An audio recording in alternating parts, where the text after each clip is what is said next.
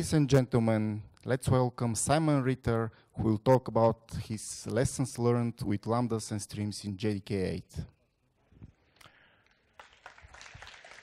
8. Okay, thank you very much, and good morning. I'm glad to see that uh, there's a lot of people in the audience. Nine o'clock. I know it's an early start, but I'm glad to see there's, there's plenty of people come to learn about lambdas and streams. So let's start with a quick show of hands. Who here is using JDK 8? Okay, reasonable number of people. Who here has at least tried JDK 8? Okay, most people. Good.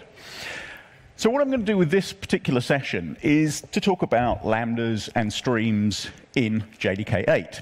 But rather than talking about it simply from the point of view of these are the features, this is how they work, and the usual sort of thing that you might get in terms of an introduction.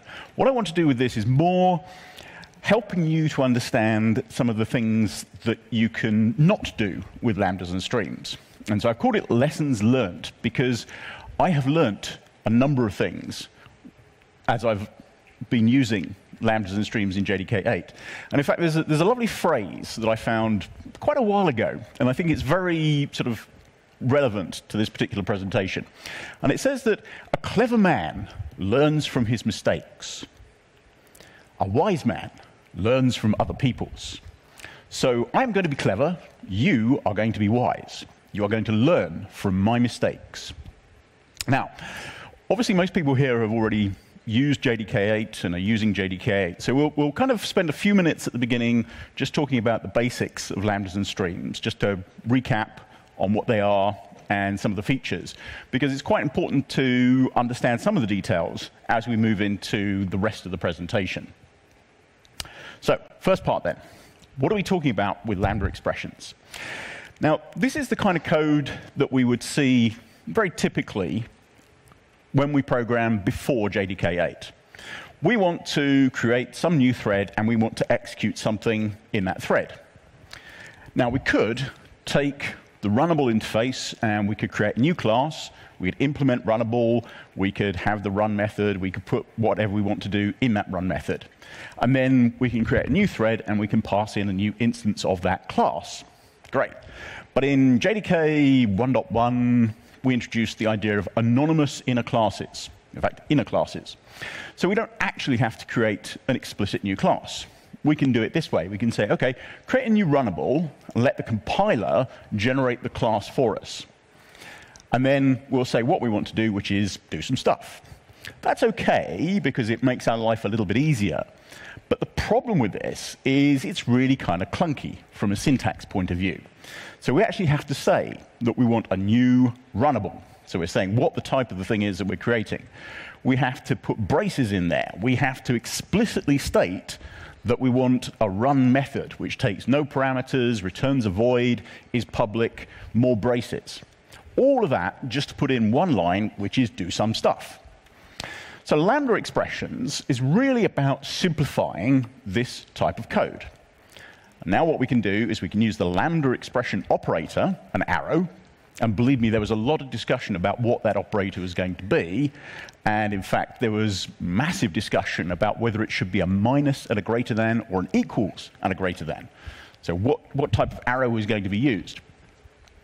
So, now we have a simpler way of doing this. The lambda expression is, in effect, an implementation of that method, the run method.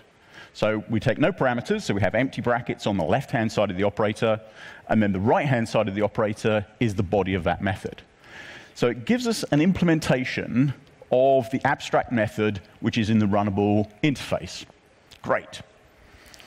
Now, we can use a lambda expression wherever the type of what we're using is a functional interface. So let's just recap about what a functional interface is. So the first thing about a functional interface is it has to be an interface.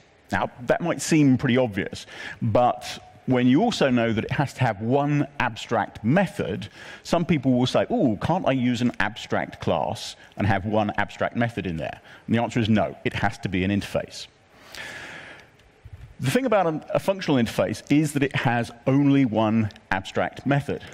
And if you look back in Java SE7 and earlier, it was very easy to spot places where you could, in JDK8, use a functional interface because it only had one method. Runnable has one method, run. Comparator has one method, compare. So there's lots of examples where you can use this in code from Java SE7 and earlier. But in JDK 8, it's a little harder to spot functional interfaces because there were two things that were introduced in JDK 8 as well as Lambda expressions that make life a little bit more interesting. So one of these was the idea of default methods. This was so that you could extend an existing interface without breaking backwards compatibility. If you add a method to an interface, now what you can do is you can say if the implementation that I have doesn't have that particular method in it, the compiler can go back to the interface and find an implementation in there. So that, that changes things in terms of Java because it introduces multiple inheritance of behavior as well as multiple inheritance of types. The other thing that was introduced in JDK 8, because we now have behavior in an interface, is support for static methods in an interface. So you quite often find that a functional interface can have multiple methods, but only one of them must be abstract. And the Lambda expression gives you the implementation of that abstract method. If you want to write your own functional interface, you can do that. You can use the annotation functional interface, and the compiler will check for you that you do only have one abstract method. Lambda expressions are used a lot in streams. So what are streams? You can think of a stream as being like a pipeline of operations. So you want to process data through this pipeline. At one end of the pipeline, you have your stream source, where you're going to get the elements from that you're going to process. You take that stream and you pass it through zero or more intermediate operations. Intermediate operation is one that takes as input a stream and generates as output a stream. That way you can feed the output from one intermediate operation to the input of another. You can chain them together. We'll see examples of this. Once you've got to the end of that pipeline and you want to generate some sort of result, you need a terminal operation. That takes as input a stream, but doesn't generate a stream as output. It can generate explicit results in the form of a collection, in the form of a, a single result, or it may just have some kind of side effect. It may just print a message, for example. Here's an example, simple one. So what we're doing here is we're saying, okay, I've got a set of transactions. I'm going to take those transactions and create a stream from it. That generates a stream of elements. We pass that into an intermediate operation, which is to filter it. We use a lambda expression to represent the predicate that we're going to use to determine which elements from that stream we're going to pass on. In this case, we want to only get the buyers where the city that they were in was London.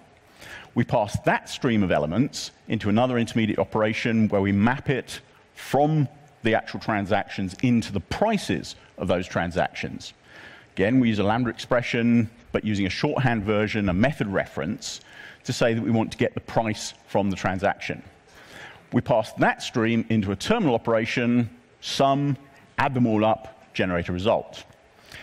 So this is the, the form of a stream. And in terms of explaining how it works, it's very easy to think of it in those terms. One stream is being passed into a method, another stream comes out of the method, and so on. But actually, that's not quite the way it works underneath. What actually happens is it's only when you get to the terminal operation that things actually happen. And this is quite important, as we'll see as we go through and talk about some of the parallel operations on streams. So what happens is that when you get to the terminal operation, the terminal operation will figure out what needs to be done, and it will compress or coalesce all of the operations that are in this stream into one set of operations. And that way it can optimize things so that you only pull results or values through the stream as you need them. You can do lazy evaluation, you can do short circuiting. There's various optimizations that can take place underneath because of the way that the stream system understands the values that are coming through. It has a way of actually identifying um, things about the stream, so whether it's distinct, whether it's sorted, all those types of things. So this is the basics of lambdas and streams. Let's have a look at how we can use these things to improve our code. Now, the first thing to look at is delayed execution. So here's something that we might see quite a lot in our code. Now, I'm assuming that you're using the, the standard logging API rather than Log4j or something else. But this is a, a good example. This is where Heisenberg's uncertainty principle applies to software. Now, Heisenberg's uncertainty principle, if you've done physics, is all about the fact that the act of observing something changes what you're observing. And it applies just as well to computer science as it does to quantum physics. Here's a good example. We're going to call logger.finest. And what we're going to do is we're going to generate a message that we might want to log. So we call this method get some status data. That's all well and good. We, we know how this works. We understand the concept of it. We're passing a value to logger.finest. The value is generated by this method. But there's a problem with this, which is that if we set the logging level to info, for example, we're going to have a significant performance impact. If our method gets some status data, takes a long time to generate that message, we're going to go off, generate message, take all that time, and then pass the value to logger.finest. But the problem with that is that when we get to logger.finest, the logger is going to say, right, what level are we at? If we're at level info, it just returns. Doesn't need the message, doesn't have to do anything. But we've still had to call that method in order to pass the result to logger.finest. So we can use lambda expressions to simplify this. We can use lambda expressions to improve the efficiency of it. And what we can do is we can use a functional interface which is called supplier. And what supplier does is, as the name would suggest, it supplies a result. It's a method which doesn't take any parameters, so you don't pass anything into it, but you get back a result from it. And all of the logging methods in the, the standard logging API have been modified so that there's a new version of these methods which takes a supplier as an argument. So we can change very subtly our code here. So rather than just passing the result of get some status data to logger.finest, we can change that to use a lambda expression. So all we're doing is adding a few characters, but now we're using a lambda expression to tell the logger.finest how to produce that message, not the actual message. And that, that's the important thing here, is we're actually passing a description of how to create the message. This is passing behavior as a parameter rather than a value. That way, we don't have to call get some status data in order to pass the message. We pass the lambda expression, and then when we get to logger.finest, logger.finest will say, okay, what level are we at? If it's an info, we just return. But we've never called get some status data. If we're at logger.finest level, then it says, oh, okay, we need that message. So it uses the supplier, calls the method on that, which is implemented by a Lambda expression, calls get some status data, gets the message back, and then logs it. So we can eliminate the problem of having this overhead every time that we need to call this method. So we're not passing the message directly. And the important thing about this is that, okay, this is used in the Logger API, but we can also use it in anything where we have code where, in effect, we're conditionally using the, the, value that's being passed. If we don't know if we actually need that value until we get into the method, we can use a Lambda expression with the supplier to tell the method how to generate that result rather than actually passing the result. So the next thing that I want to talk about is avoiding loops in streams. So another question for a show of hands. Who here would consider themselves a functional programmer? Good. That's what I like to see. Very few people put their hands up. And this is, this is a very good point because I know from being a, a, Java programmer for many years that I'm not a functional programmer. I remember at university I did one course on Lisp, and I struggled with that. And I, at the end of the course, I remember thinking to myself, my brain doesn't work that way. So I'll stick with procedural programming, I'll stick with imperative programming because my brain works that way. So when we look at functional programming in Java using streams and Lambda expressions, we have to think differently. It's kind of like making the switch from C, where you're doing procedural programming, into Java, where you're doing object-oriented programming. A little bit of mind shift about how you're doing it. And the thing is that as a Java programmer, we are very used to certain ways of doing things. We use loops in our code. For loops, while loops, do loops, all the time. Very logical, very sensible way of doing things in our code. We also really like variables, don't we? Because they're very useful for storing state. But if you look at functional programming and the way that you're supposed to use functional programming, it's all about not modifying state. You're supposed to be able to call a function as many times as you like with the same value and get the same result. So there's no state involved in that function which might modify what you're getting out of the other side. But as programmers and Java programmers, state is really useful. We use it all the time, and we have to think a bit differently. So let's look at an example here. When I started using JDK when it first came out, I wanted a complete list of all the places where I could get a stream source from. I also wanted a complete list of all the methods in the Java APIs where I could use a Lambda expression. So all the methods that took a parameter, which was a, a functional interface. So I thought to myself, right, I'm going to do this, and I'm going to create that list because nobody else has. And in order to do that, I'm going to use lambdas and streams to do that.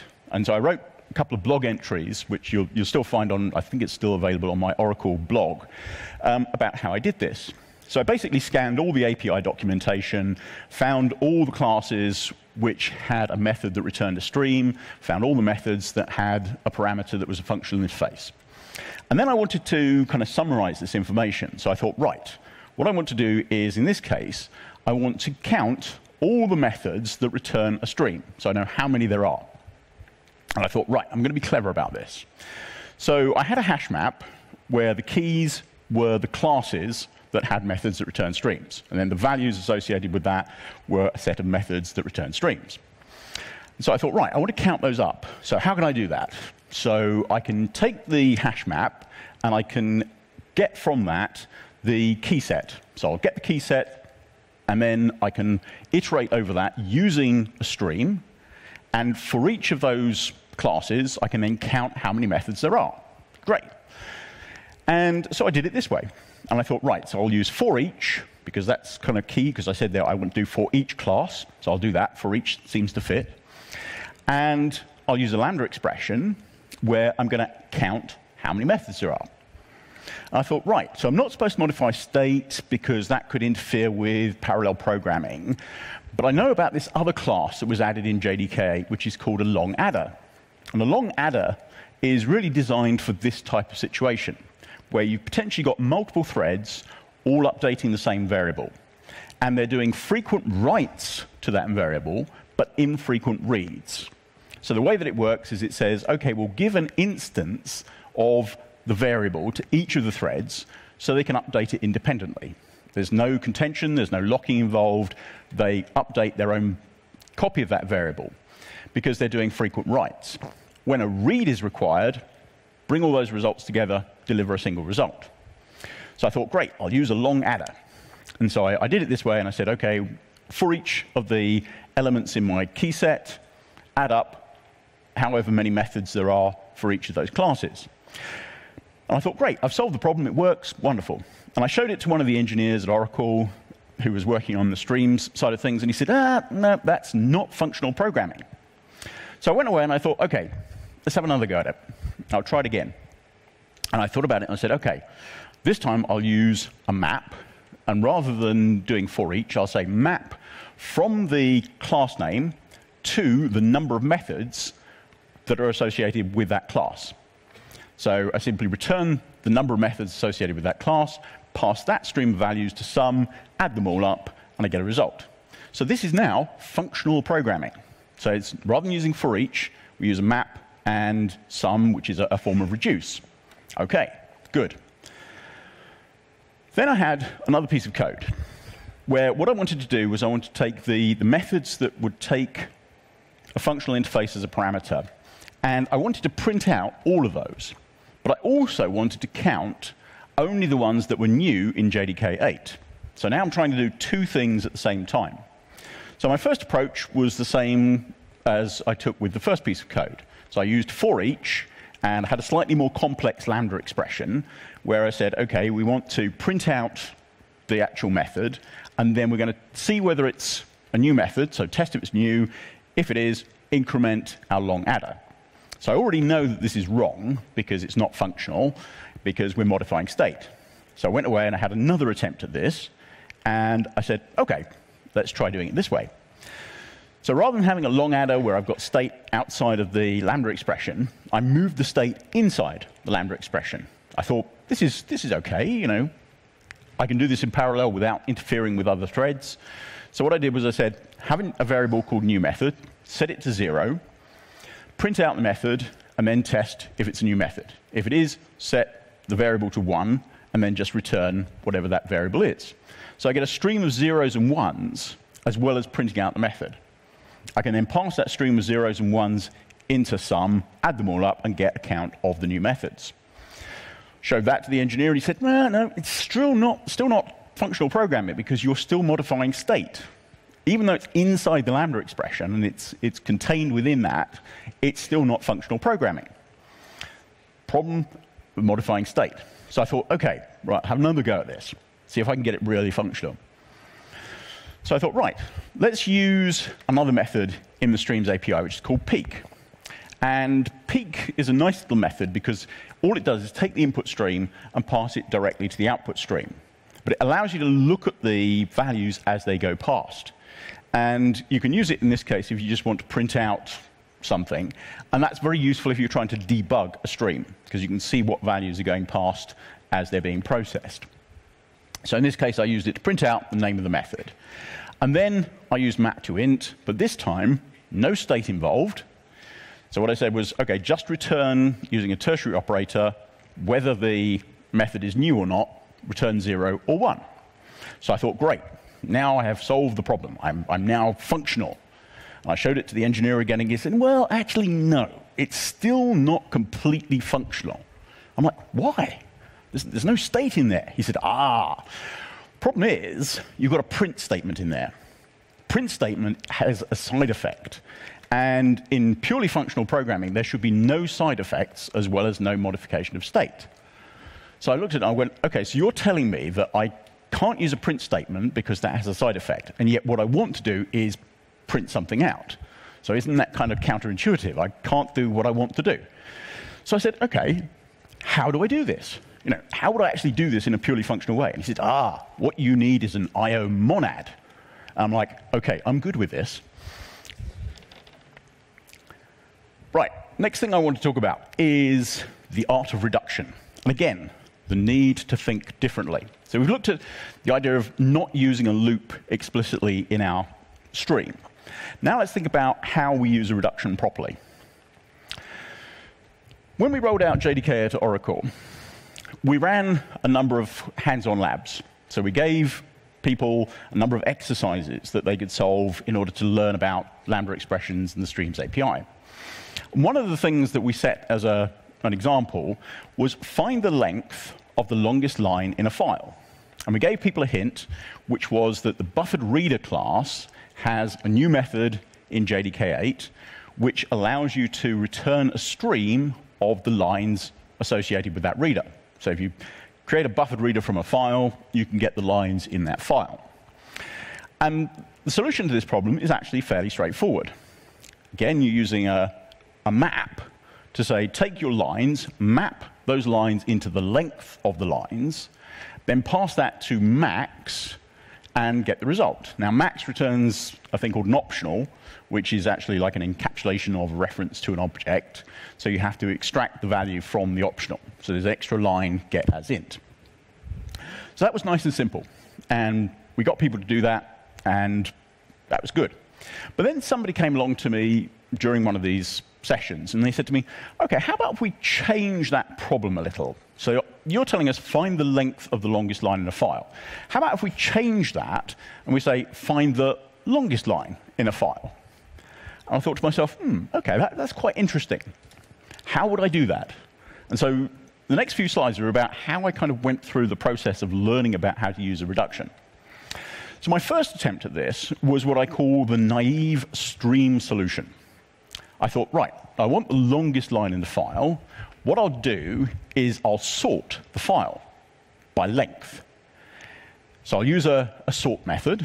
I'll use a lambda expression to say I want to sort by length, longest first, and then I'm going to pass that into a terminal operation, which is find first, which simply takes the first element of the stream and returns that. Great. So get the result of that, and that works. Job done. I've solved the problem. Well, no, not really, because if you think about it, a big file is going to take a long time to process. It's going to be a very inefficient way of doing this, because you have to sort the whole file, and then you only want one line from that file. So there must be a better approach to this. So I thought, okay, how do we do that? Now, the first thing I did was I thought, right, let's go back to being a Java programmer rather than a functional programmer and think about how we do it normally. And this is the kind of solution we come up with. We have a variable, longest, and we set it to be an empty string. And then we have a loop. So we say, while there are lines being read from the file, test to see whether the length of the line read from the file is longer than our current longest line. If it is, change that variable and move on. When we get to the end of the file, the value of longest is going to be the longest line in the file. So this is a very simple solution. It's like four lines of code, and we've solved our problem.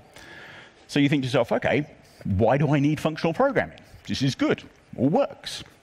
The problem is that this is a very simple solution, but it is inherently serial. And as we see in a few minutes, when we talk about parallel operations, we can't make this into a set of parallel operations. The fact that we have a while loop means that we have a contract between us and the compiler about the order in which things are going to be processed.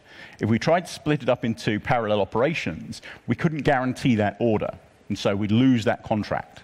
So it is inherently serial. Also, even if we took that loop away and we decided to try and break it up into multiple threads in another way, we still have some state.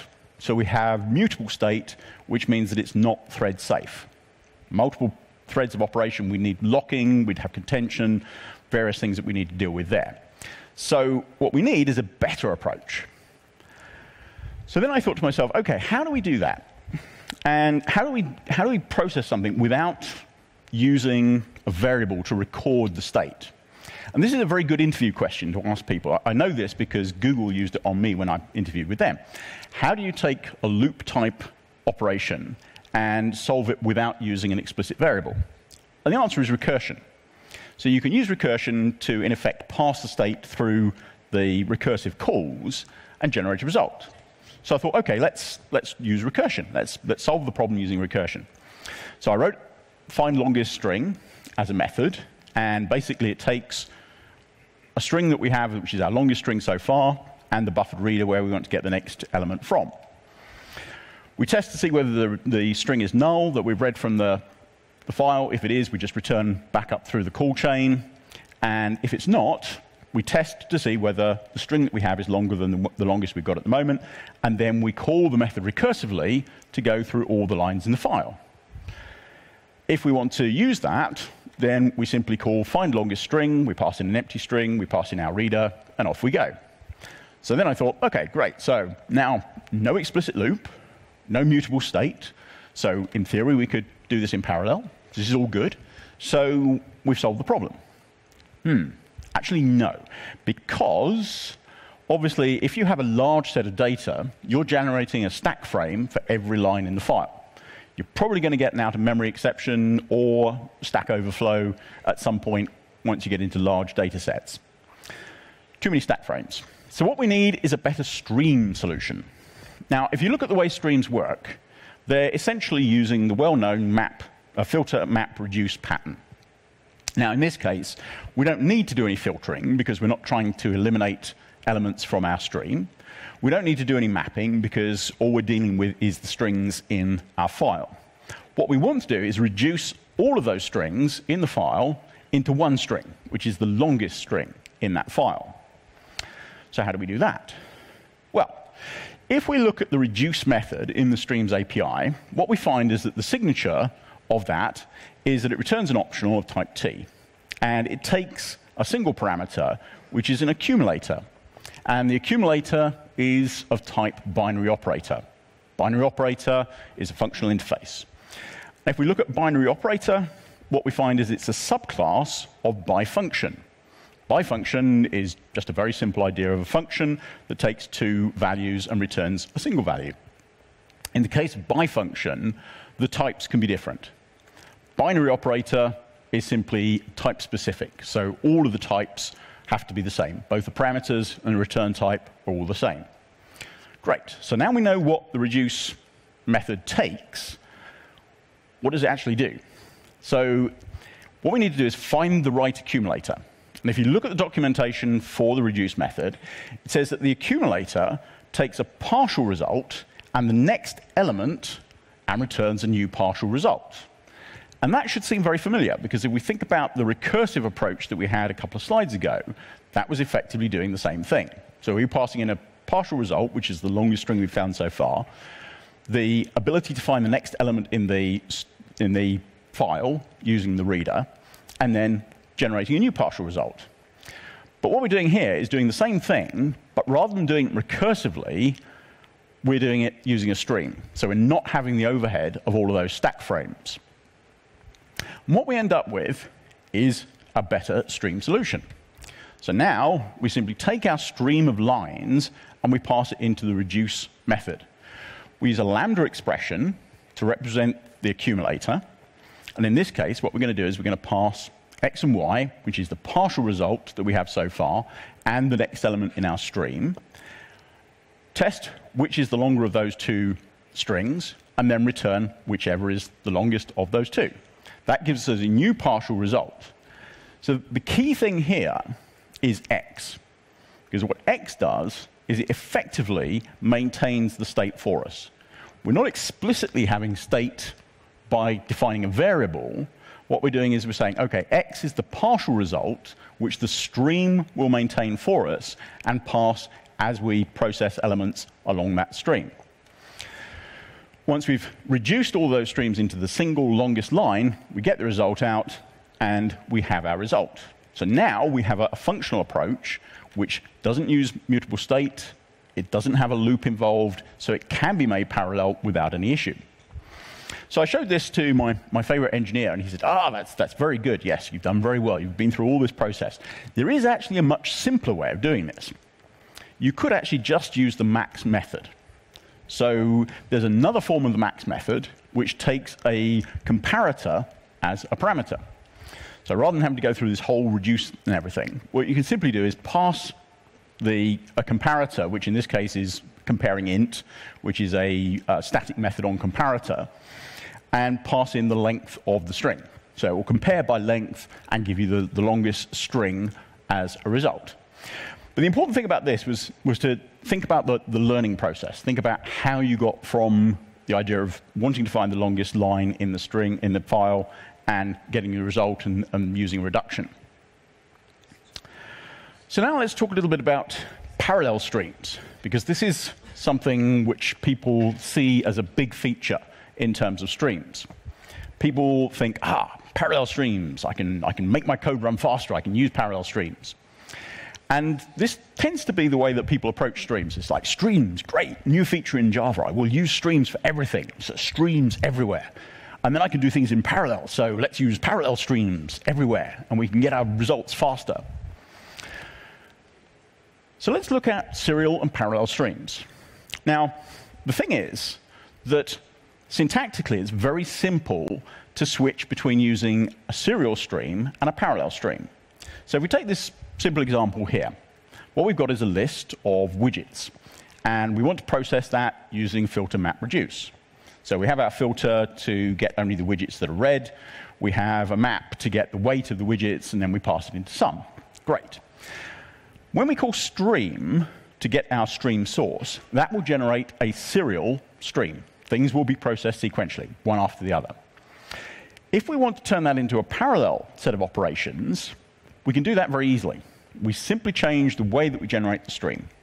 Now, we use parallel stream, and it will process things in parallel. That's a nice, simple thing to do. You know, so we, we don't have all this overhead of trying to think about threads and all sorts of things like that. We simply say, do it in parallel. Let the streams code deal with that for us.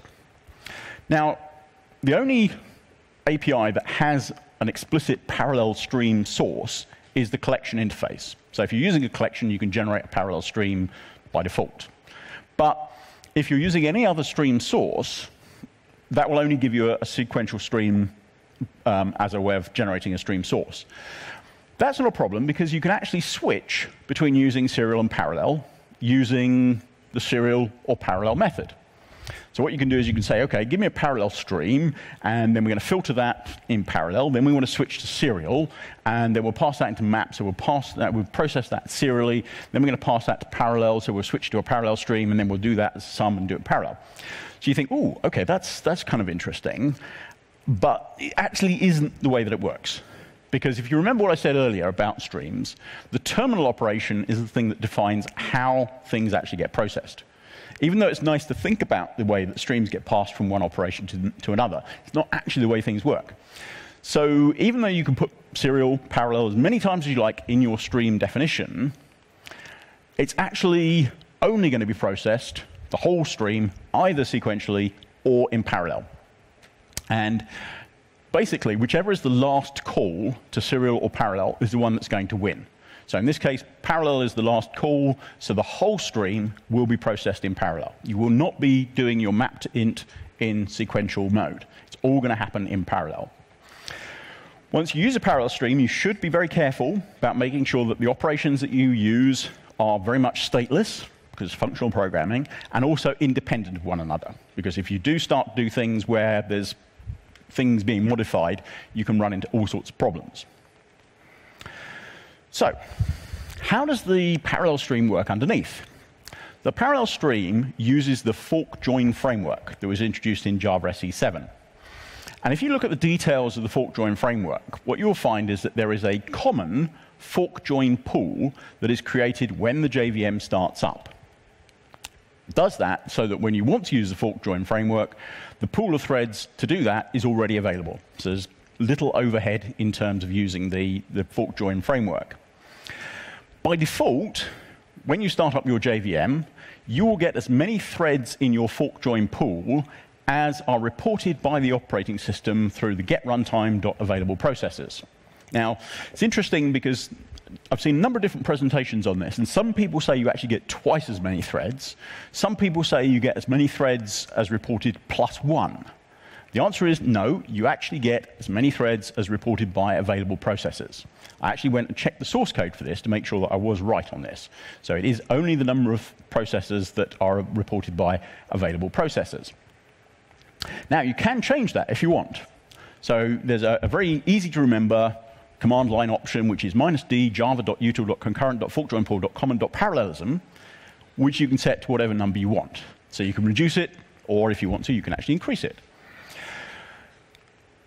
So let's look at how we can use this. So we want to use parallel stream. So I'm going to set the, the parallelism in my pool to be 4. Great. Now what I'm going to do is I'm going to use the same code I had before, but this time I'm going to actually record some information about the threads that are being used. So I'll use a concurrent set. Now I know I'm strictly speaking modifying state here, but we'll just ignore that. And we'll have a look at what threads are being used in terms of processing this. So what I'm going to do at the end is I'm going to print out how many threads are being used to process my parallel stream. So let's have a show of hands. Who thinks that the answer that's going to be printed out is 4? Okay, this is good. Oh, oh, one person didn't spot the fact this is a trick question. Anybody think it's less than 4? Okay, a few people. Anybody think it's more than 4? Okay, a few people, uh, okay, and a number of people who have no, no view on this. Okay, well, the answer actually is five. So you think, hang on, I have set the parallelism to four. Why have I got five threads executing my code? This is not good. I said four. I want, don't want five. So let's change the code a little bit. And this time, rather than printing out the number of threads, let's print out the name of those threads so we can see where they're coming from. And if we do that, what we'll see is that we've got the, the fork join pool workers, 0 to 3, so that's the four that we have specified in our parallelism, but we've also got an extra one, which is main. Now, this is the actual thread that's running the code for our stream. And the way that things work in terms of the parallel stream is that the invoking thread is executing that, is used as a worker as well. The reason for that is that fork join um, pool or fork join framework has to execute synchronously. So it pauses until all the work is done. So the people who did the streams code said, well, okay, if, we, if that thread is just going to sit there doing nothing, let's use that thread and add it to the, the pool of workers for the, the fork join pool and get it to do more work. Which is, I, I, you know, it's kind of like, okay, well, yeah, except that, you know, I actually want there to be four threads, not five. Mm, okay, well.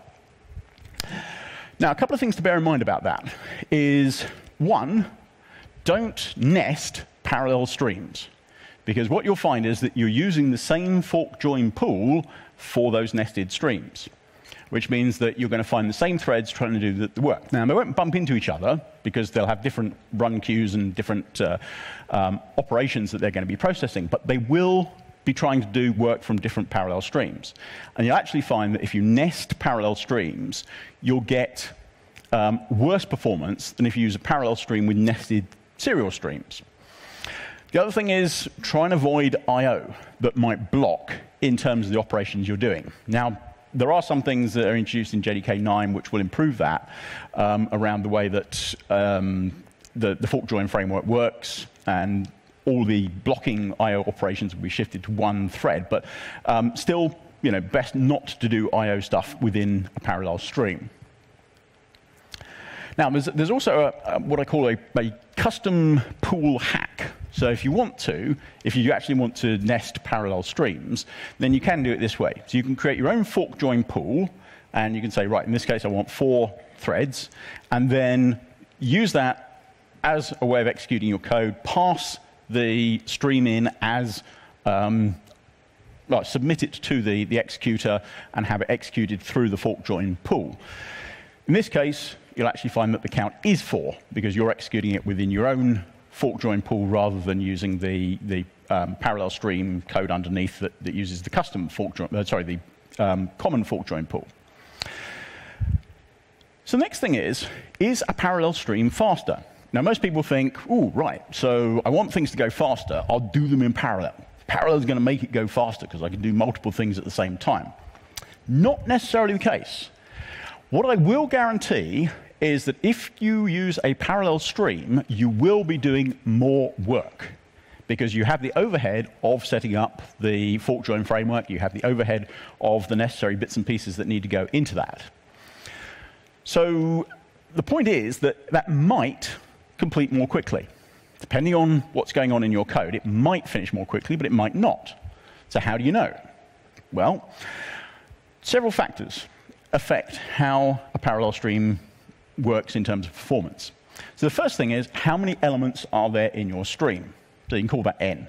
Now that's something that's fairly easy to measure. You can tell the size, well, quite often you can tell the size of a stream, so it's, it's easy enough to kind of measure that. But then it's how long does each element take to process? And what you need to do is you need to say, okay, the bigger that number is, where you can you multiply number of elements by the time it takes to process each one, the bigger that number is, the better a parallel stream is going to work. But it doesn't mean that both numbers have to be big. If you think about it, if you've got eight threads available for parallel execution, and you've got eight elements in your stream, so you might think, oh, okay, that's a small number, eight elements. But if each operation takes two seconds to complete, then executing in parallel is going to be well worth doing because it'll take two seconds, well, just over two seconds to operate, versus if you do it sequentially, it's going to take 16 seconds. So it doesn't have to be both big numbers. It just has to be one or the other, and multiplying them together gives you a big number. Also, depends on what kind of thing you're doing in your stream. So if you look at things like filter and map, these are very good for parallel operation. They decompose perfectly into parallel operations, and you can execute them without bumping into each other. Things like sort, things like distinct, because they do require um, you know, reference to other parts of the stream, then they won't decompose quite so well into parallel operations. You might, you know, there, there are ways of improving performance, but it's not as good as things like um, map and filter. So just to kind of um, last five minutes, just want to have a quick look at some of the things that are coming in JDK 9. Uh, I said this is lambdas and streams in JDK 9. It's actually only streams, really. Um, a couple of new APIs. The optional class now has a stream method, so you can actually get a stream from your optional, which will either be zero or one elements, depending on whether you have um, zero, well, a reference to an object or a null. Flat mapping is a new method in the collectors utility class. It's really just a way of combining a couple of things in order to um, create a new collector. So it's a simple way of doing things. Um, really, it's just a, a, more of a utility method there. There are a number of places where you can get new stream sources from. So Matcher, Scanner, Network Interface, Permission Collection, all have methods now which will return a stream of objects from those things. So in the case of the scanner, you can either get the, the set of results as a stream or you can get the individual tokens from the scanner as a stream and you can process them as you want. Parallel support for files.lines. This is a, a nice idea because if you use the files, um, well, if you use the buffered reader and you're trying to process things in parallel, it's, it's not really going to work very well because you're reading lines from the file sequentially. And if you try and pass that into a parallel stream, it's just not going to give you any benefit. What's been done in JDK 9 is say, OK, let's introduce this lines method in files, which will allow you to operate in parallel. So it takes the file, maps it into memory, and then divides it up into multiple regions based on line breaks. So you won't necessarily get exactly equal chunks of your file, depending on the length of the lines, but it will break it up into chunks so you can have those processed in parallel, and each thread can pull lines from the memory mapped area of the file independently, and it can actually improve performance. If you look at the kind of results you get from that, you'll see that uh, the left-hand side of the graph is using the buffered reader.lines method as a stream source. The blue indicates sequential, green indicates parallel, so you'll, you'll find that the green is actually worse if you try and use um, sequential or the lines from buffered reader in parallel. And then if you use files.lines, you'll see that depending on how many processes you've got, you actually get an improvement in performance. So it's probably four processes in that machine. Two other methods that are quite interesting in the Stream API. Um, one is drop while. So the idea here is that what you do is you say, OK, let's take the, the stream, and then let's ignore all the elements in that stream until we see a value that meets a predicate. So in this case, we're trying to drop everything until a value is less than 56. Once the value gets to be 56, then we will start taking things from our stream and carry on. The reverse of that is take while. Take while says, okay, we're going to take elements from the input stream until we match a predicate. So until we get a value that's less than 56. Once we get a value less than 56, we stop taking things from stream, stream terminates. One thing you do need to be a little bit careful about that is dealing with an unordered stream. Because if you have an unordered stream where you're getting values which vary a lot, then you might find a situation where you get a value that's less than 56, stops taking elements from that stream, but later on, you might have other elements which were bigger than 56. But it's, it's just something to bear in mind with the way that that works. Just to conclude then, um, lambdas and streams are a very powerful combination. So it's functional programming introduced to Java. Nice kind of gentle introduction to functional programming in Java. But it does require you to think differently. Don't think when you're doing streams about using loops. So avoid that sort of pitfall of saying, ah, yes, I want to do this for each element in my stream, where you think, for each, ah, I'll use the for each method. No. If you think you're going to use for each, stop and think, do I really want to use for each? There are certainly situations where you can use for each very legitimately. If you're printing out elements from a stream, for each is quite valid. But if you're trying to do more complex things, which should be done as a reduction, then do it using a reduction.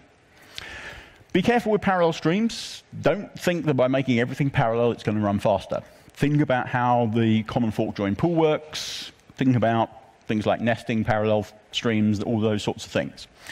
Obviously, more things to come in JDK 9. There'll probably more things to come in JDK 10. Um, and since I have all of 15 seconds left, I guess it might be time for one question.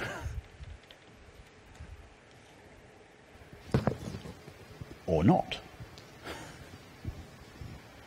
I see no raised hands. Okay, well, thank you very much.